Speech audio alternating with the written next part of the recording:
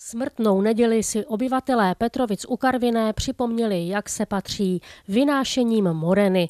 Důstojné a také patřičně veselé rozloučení se zimou uspořádalo informační centrum ve spolupráci se skupinou oživlé historie Velesů Flit a její odnoží skupinou Ragojka. Tato organizace pořádá vynášení moreny již 8 let a uznali jsme za vhodné, že by bylo dobré přinést tuto tradici i do Petrovic u Karviné.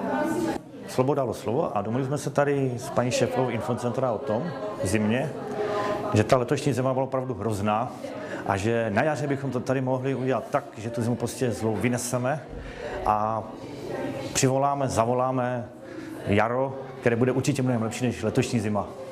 Smrtná neděle je svátek, který pochází nejspíše už z hodně, hodně pradávných dob, ještě určitě z předkřesťanského období.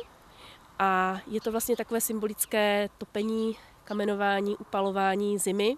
Těším se na to, že eh, do Petrovic přineseme konečně jaro a tím ukončíme eh, tuhle dlouhou zimu. Ten svátek byl natolik oblíbený, že ani vlastně církev eh, nebo církvi se nepodařilo tady tento pohanský svátek vymítit.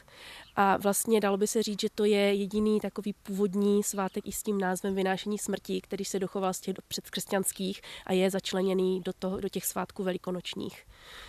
Pro ty naše předky tenkrát to byl vlastně takový začátek jakoby nového roku. Protože to jaro byl vlastně symbol života, něco nového se rodí, něco nového ožívá. Zvířata vlastně mají vlastně mláďata. Preč!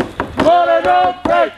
Moreno, preč! Morena se zdobí vyfouknutými vejci nebo prázdnými ulitami, protože jsou to už prázdné skořápky a symbolizují také smrt to, že dneska vlastně barvíme vajíčka, kraslice vyfouknutá, to je vlastně svým způsobem špatně, protože my si dáváme navzájem prázdné skořápky, což teoreticky vlastně symbolizuje tu smrt.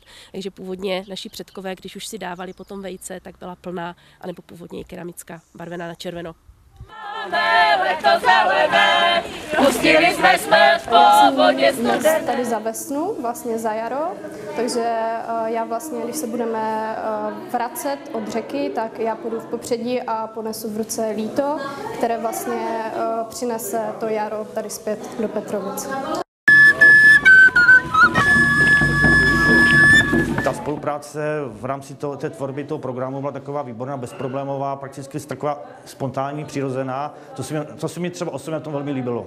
Chtěli bychom vlastně eh, zajistit to, že by se z toho stala taková tradice a vlastně vynášení moreny by se konalo každým rokem. Doufáme, že se nám to podaří.